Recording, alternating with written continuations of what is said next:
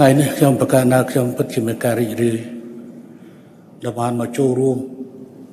នៅក្នុងការនៅក្នុងពិធីអន្តរសាសនាប្រចាំប្រឆាំងការជួញដូរមនុស្សលើកទី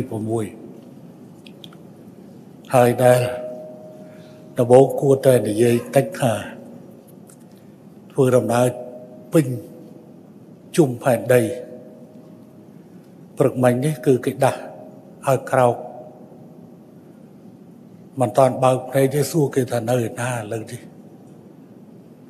ព្រោះពេលទៅចេញដំណើរពីកម្ពុជាទៅដល់ញូវយ៉កចេញពីញូវយ៉កទៅឡាហាវ៉ានចេញពីឡាហាវ៉ានមកដល់តូក្យូ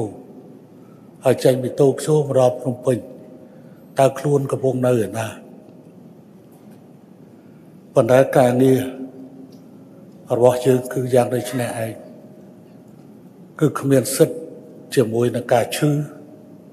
គ្មានសិទ្ធជាមួយនឹងធូចតែក្នុងការហត់គឺត្រូវតែធ្វើដោយជៀសវាងមិនបានថ្ងៃនេះព្រឹកនេះចូលរួមជាមួយនឹងពិធីអន្តរសាសនាប្រឆាំងការជួញដូរមនុស្សលើកទី6ល្ងាចនេះទទួលព្រះមហាក្សត្រ